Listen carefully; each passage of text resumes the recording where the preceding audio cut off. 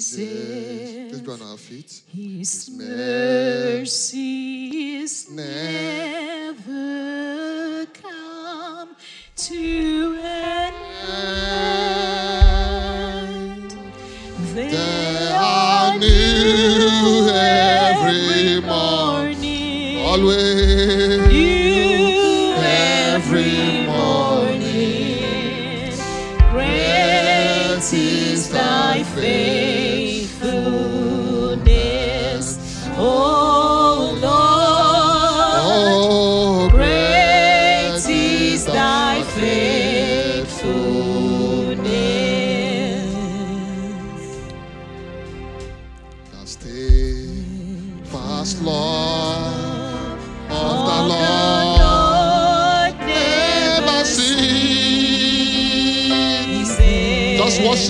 Worship Him, just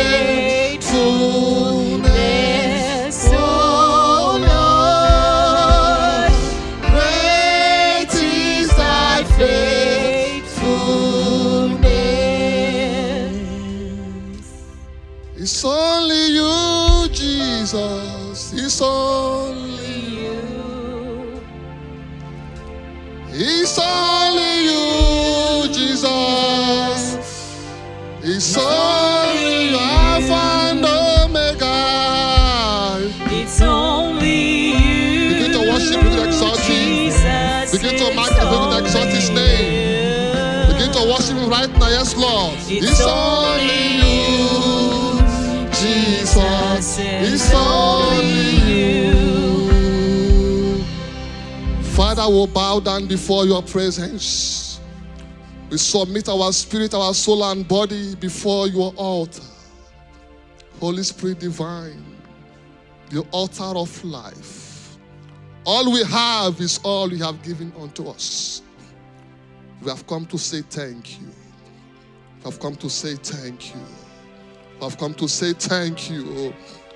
Father, today, oh God, let the abundance of your light, oh God, penetrate every life here. That none will go back home the same. In Jesus' mighty name, we are prayed. Shout a big hallelujah.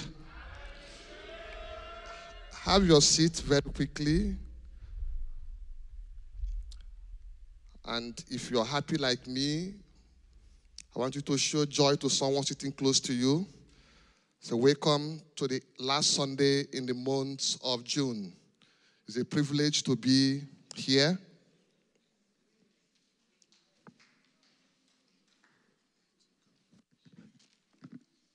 Praise the Lord. Praise the Lord. Are you excited? Are you excited? The Lord will make your joy to be full in Jesus' name. This morning, we are seeing the last Sunday of the month of June.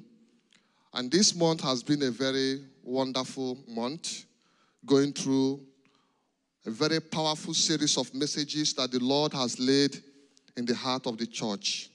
I want to thank God for the church leadership and also for our pastor who is away. May the Lord bless him and lead him safely in Jesus' name. This morning, let's open our Bible to the book of Genesis, chapter 1. Genesis, chapter 1. I want to read from verse 1 to 3. Genesis 1, 1 to 3. Media, please, uh, should be fast with there. Genesis chapter 1, from verse 1 to 3. The Bible says, In the beginning, in the beginning, God created the heavens and the earth, and the earth was without form and void, and darkness was on the face of the deep. And the Spirit of, of God was hovering over the face of the waters. Then God said, Let there be light, and there was light. Praise the Lord. Praise the Lord. Now we see in this uh, verse of the Bible that has been the anchor of our message this month that something was happening to the earth that God created. If you're a, a deep Bible scholar, you will understand that as a time between the beginning and when God came to say, Let there be light, that something had happened to the earth that God created in the beginning, and God was about to restore that which was taken out of his creation. And God began to speak and say, Let there be light. So, light is always the beginning of God's work. Praise the Lord. It's always the beginning of God's work. The Bible says in Isaiah chapter 60, verse 2, Isaiah 60, verse 2, Bible talks about that darkness shall cover the earth, and there shall be great darkness all over the earth. What is darkness in the mind of God? In the mind of God, darkness is the lack of wisdom. It is lack of knowledge in the heart of man. It is lack of knowledge on earth. That is what darkness means. Once there is the lack of the wisdom and the knowledge of God in a generation, that generation is plunged into darkness. Hallelujah. Because when the knowledge of God is lacking, wickedness is amplified, evil is amplified. Sodomy is amplified. There is, that, that, that, there is a siege on every life, whether it is business, whether it is family, there is crisis in, the, in people's health, because there is lack of wisdom of God in that generation. That is why the Bible said in the book of Hosea 4 6, it said, My people perish for lack of knowledge. So, what the light of God means is the knowledge of God.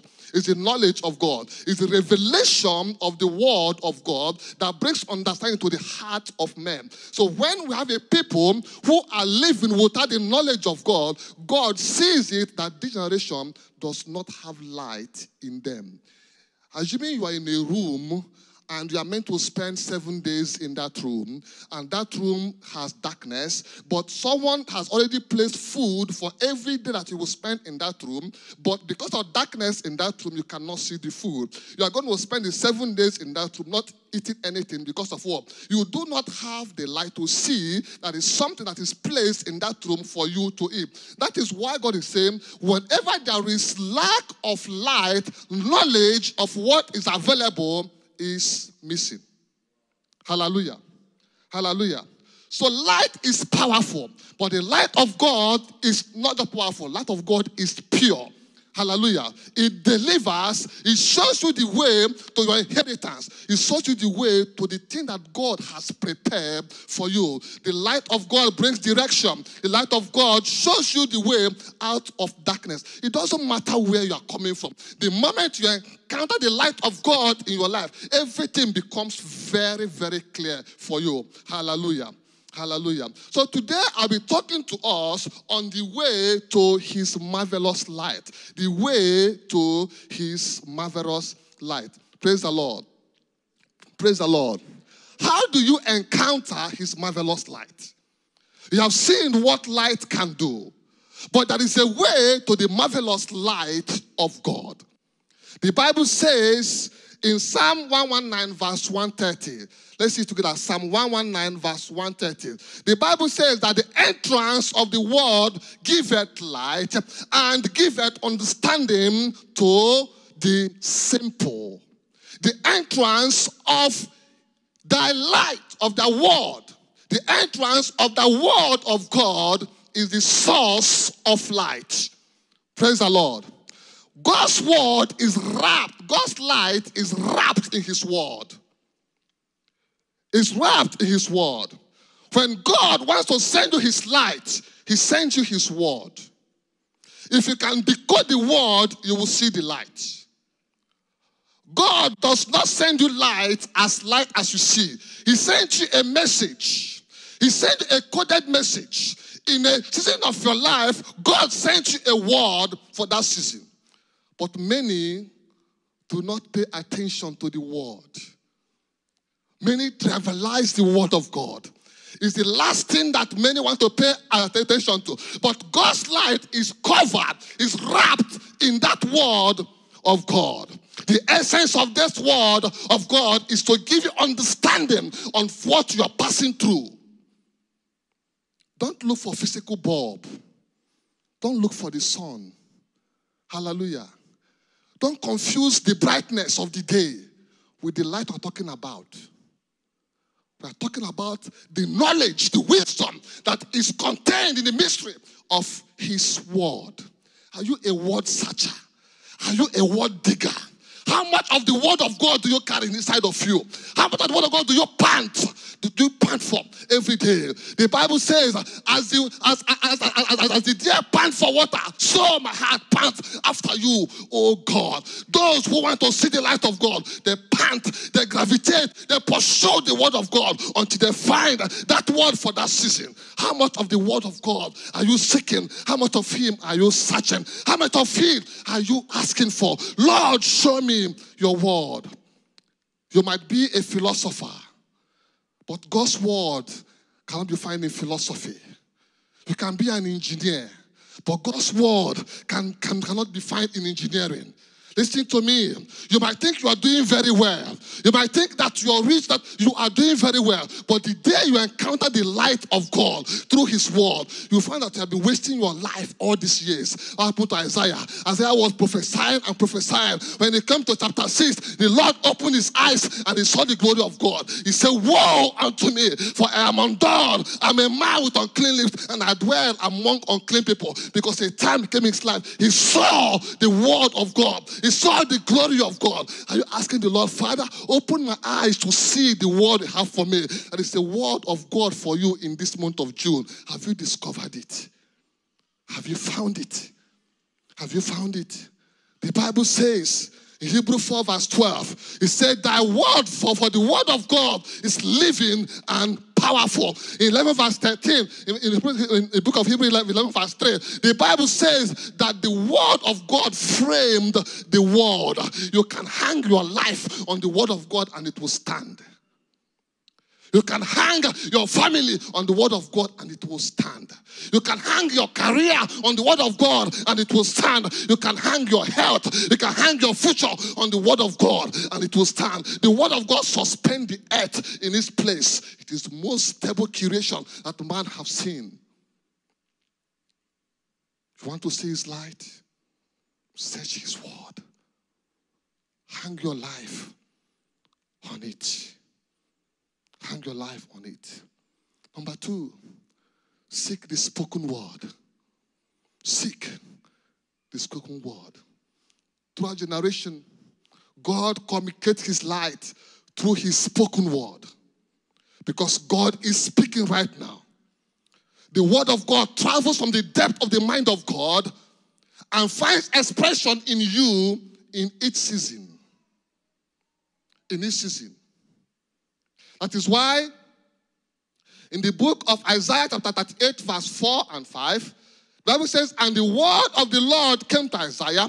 In verse 5, he said, Go and tell Hezekiah, Thus says the Lord, the God of David, your father, I have heard your prayers, I have seen your tears. Surely I will add to your days 15 years. The word of the Lord came to me. Hezekiah was at the point of death. He was at the point of death. God have sent him a message and said, You are going to die. Prepare your house. But he went to God in prayer. God had to speak again. God will speak again over your life. In the mighty name of Jesus. He said, And the word of God came to me. Jeremiah chapter 1, verse 11. Again, the word of God came to me saying, Jeremiah, what do you see? The word of God comes to you and says, What do you see? Listen to me. Listen to me. In a season of your life, the word of God has to come to you again and again and again and again and again until you get to where you're going. Don't keep asking, Lord, speak to me. Lord, speak to me. Lord, speak to me. That is how light comes. The moment God stops speaking life becomes difficult. Life becomes difficult. The question is, what are you hearing from God concerning your life now? That is the source of your light. That is the word of God for every season. Is darkness or barrenness in the family, that is the word of God for that season. When you're sick in your body, that is the word of God for that season. And it is in that word that your light would come. Praise the Lord. It's in that your light will come. God has to speak to you again and again and again. That's why you're going to pray and say, Lord, do not be silent over me. Do not be silent over me. Do not be silent over me. Any, any, anyone that has silence of God over him, that person is in trouble. You're in trouble. The greatest undoing of any man is that God is silent over your case. When God is silent over your family, you have to unlock heaven. You must unlock heaven. When God is silent over your finance, you must unlock heaven. Because that's the source of your light. God speaks again and again, and the word of God came to me. When last you hear the word of God? Abraham was called by God. This is chapter 12. In chapter 15, God made a covenant with him. Probably it's 80 years at that point. But for a long time, he did not hear from God. The whole of chapter 16 of Genesis, you will not hear God say it to Abraham. That was when he fell into Hagar and Ishmael. He fell into the trap because he was not hearing from God. God reappeared in chapter 17 and said, Abraham, be thou perfect and walk before me.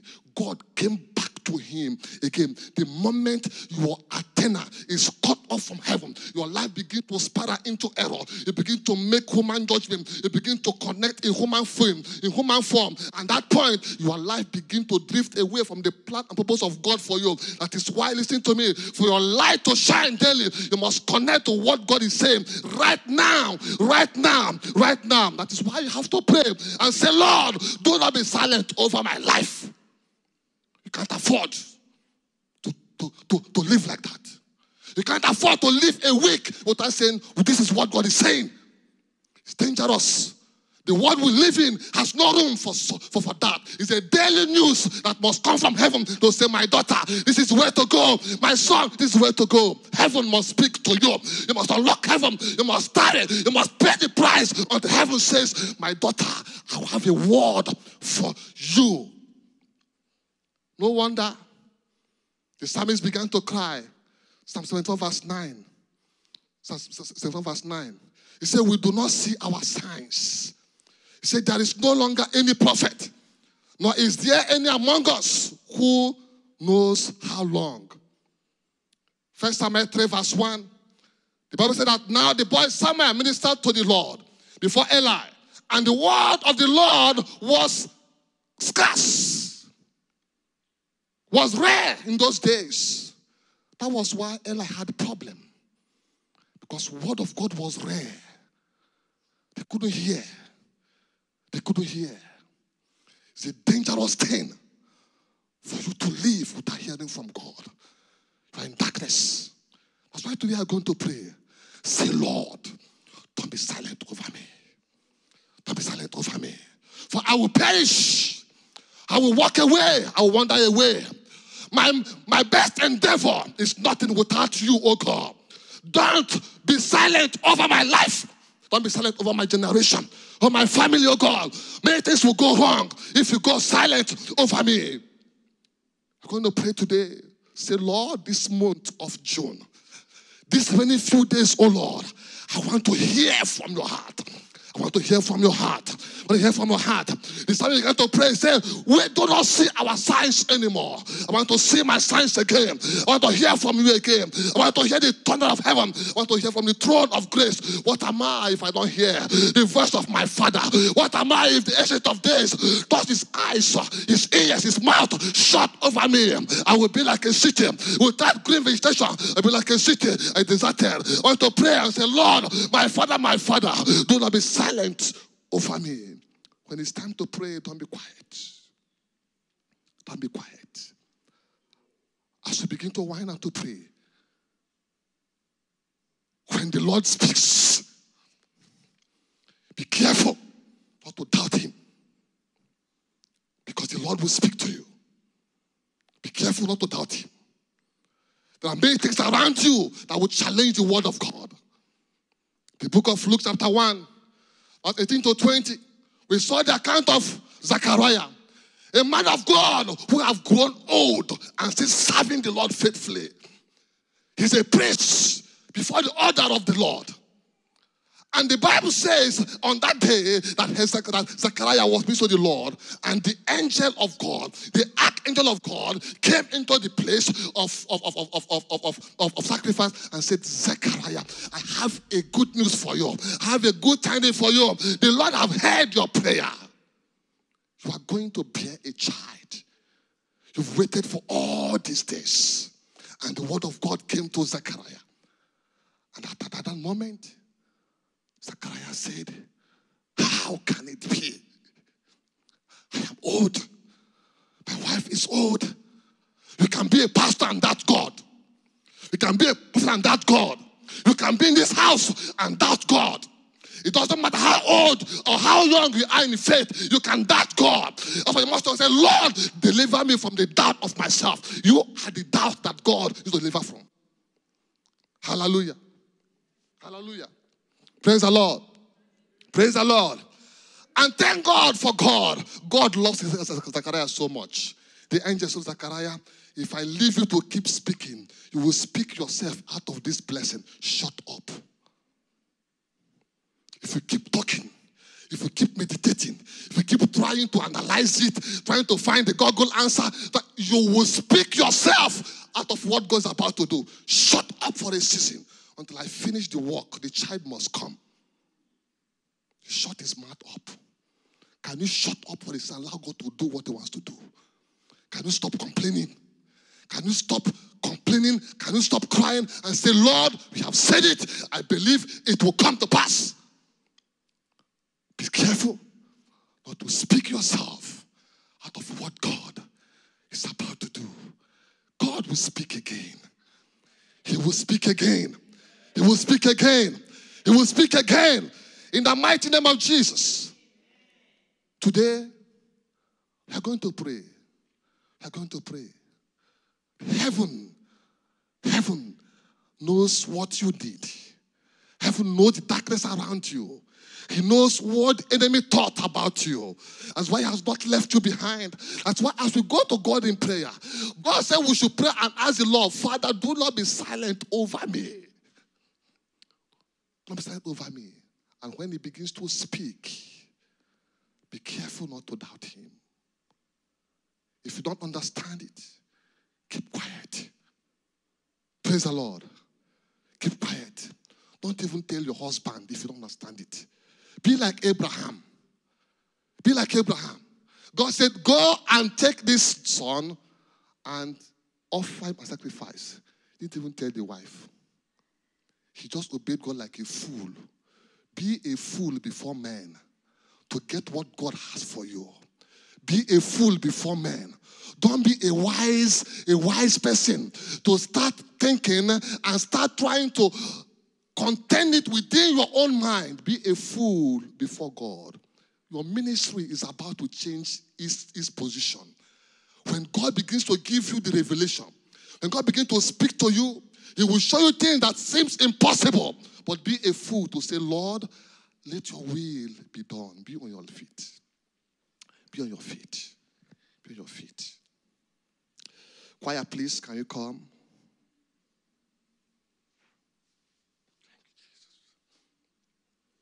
Yes, Lord. Yes, Lord. The Lord is speaking to us today. Choir, please, can, can, can you come? Yes, Lord. Yes, Lord. I, I want you to just lift up your voice and begin to pray that prayer and say, Lord, do not be silent over me. Begin to pray that prayer now. Lord, do not be silent over me. Lord, do not be silent over me. Yes, Lord. Yes, Lord. Yes, Lord. Yes, Lord. Lord, do not be silent over me. Like someone you feel abandoned.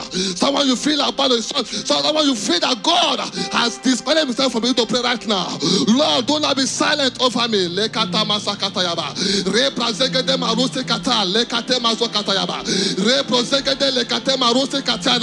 Oh, Open your mouth and begin to pray and say, Lord, do not be silent over me. Yaba. Reposekete masokata. Rekete. Makete le. Rokete kete posekete lekata.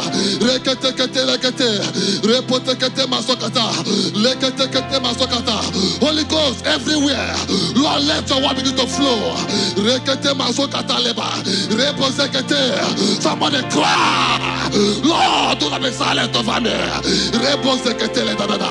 Réponse que t'es katoyaba. Réponse que t'es le kata. Réponse que t'es marose katoyaba. Rekete que le que makoto le bababa. Rote le que t'es katoyaba. Yes, Lord. Réponse que t'es kata. Réponse que t'es que yaba. Réponse que t'es Pray, pray, pray, pray. Lord, don't be silent over me. Go ahead. Go ahead. Go ahead. Go ahead. Go ahead. Go ahead. Yes. Go ahead and pray. Go ahead and pray. Go ahead and pray. Go ahead and pray. Lord, speak to me once again. To me once again. Lord, once again, once again. Once again, once again. Let your word come to me. Let your word come to me. Every area of your life right now. Yes, Lord.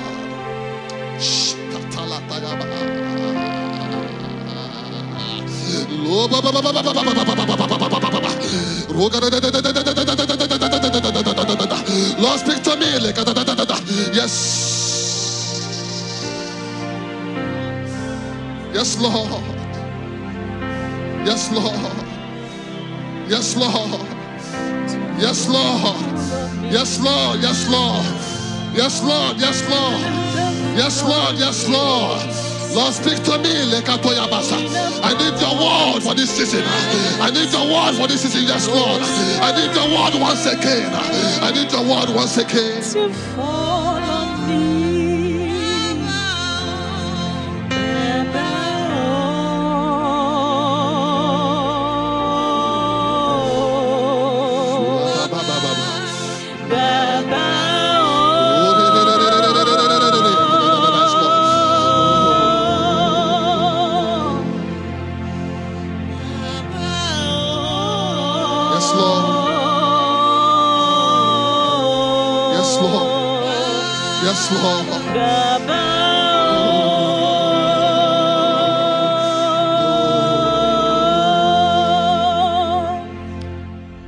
Are here. You feel like your wall of the sky is cut off for you from God. You want the Lord to speak to you in a clear language that His word will bring light to your situation. You just need a word from God. I want you to take a step forward. Just come to the altar and just be on your knees and say, Lord, don't be silent over me. I want to pray for you specially. The situation in your life, you just want God to speak. Men have given you advice, but it's not working. You're just asking the Lord, just one word from you. Just one word from you. Just one word from you. Just one word will do it. One word will do it. Just one word from you. Just one word will do it. Lepra zekete. Lepra zekete marose katalabash. Just one word, just Lord. Lord, just one word from you, O God. Don't be silent over me. I need your Lord. Baba. oh.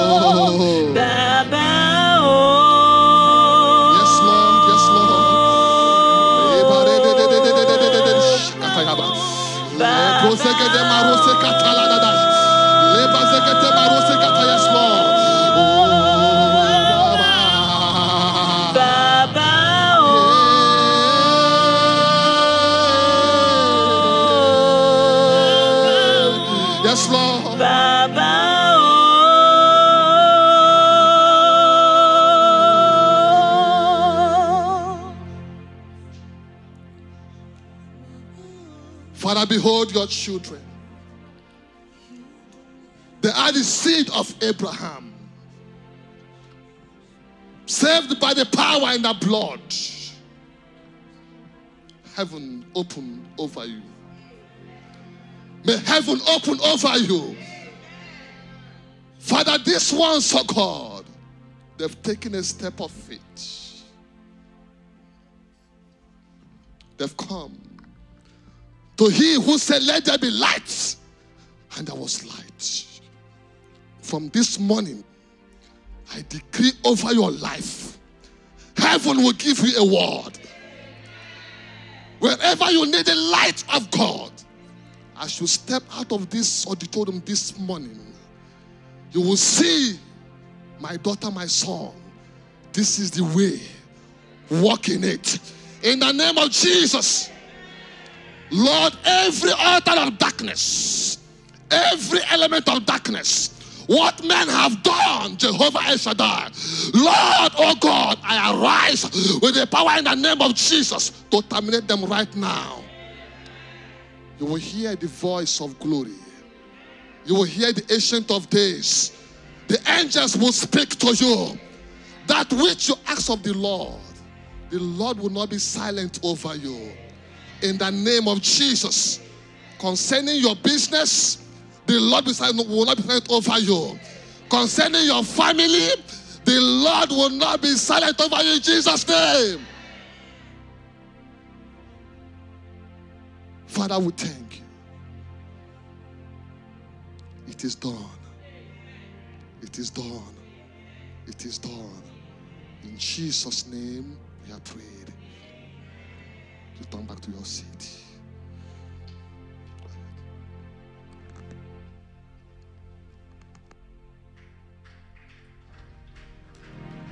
Can we continue to give a clap offering unto the Lord this morning?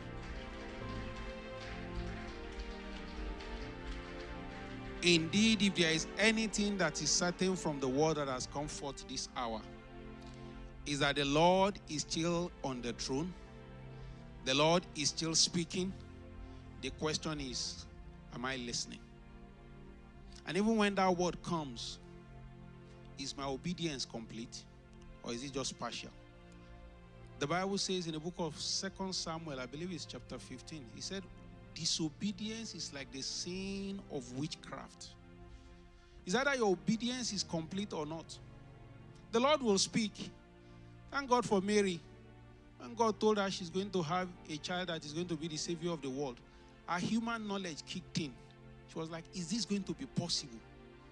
Thank God she said, Nevertheless, not, that I, not as I am thinking it, but as you have spoken. So this morning, you're going to just say, Lord, open my eyes, O Lord. Open my eyes, O Lord. Hallelujah. Open my eyes, O Lord. Open my eyes, O Lord.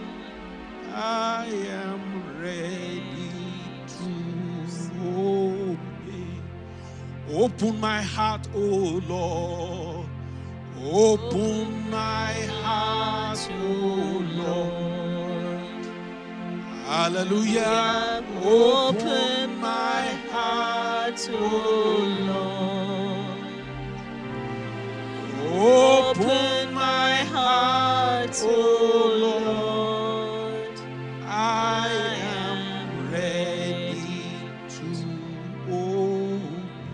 Open my ears, O Lord.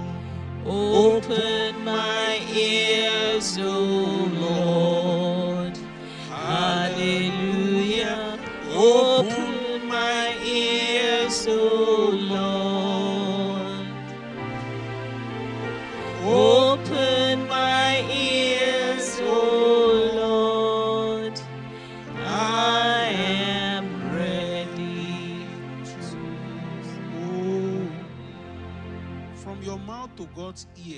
Lord, word says, as you have spoken, so He is going to do.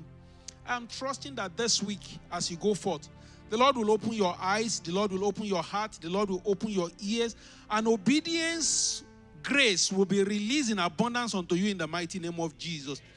as you go this week, the grace of God for you to shine as light in the midst of darkness, the Lord will release in abundance unto you in the mighty name of Jesus. It shall be a week of triumph for you in every area of your life in the mighty name of Jesus. Church, before we share the grace, can we stretch forth our hand to the vessel the Lord has used so wonderfully this morning? Let's pray that in any way virtue has gone out of him, the Lord will fill him back to overflowing. That when next the Lord will desire to use him, the Lord will find him available, faithful, and usable for his purpose. In the mighty name of Jesus. The Bible says the husbandman shall be first partaker of the fruit. Let's pray that in his own life as well, the Lord will give him the ears to hear, the eyes to see, the heart to hear, and the grace to obey. In the mighty name of Jesus. Thank you, King of glory. Be thou exalted.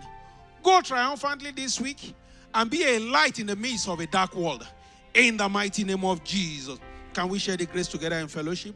May the grace of our Lord Jesus Christ, the love of God, and the sweet fellowship of the Holy Spirit be with us now and forevermore. Amen.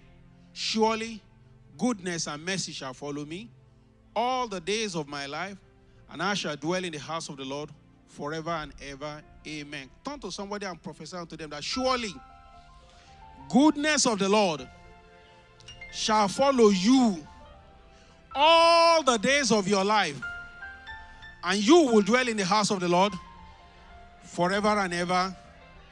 Amen. God bless you and have a triumphant week.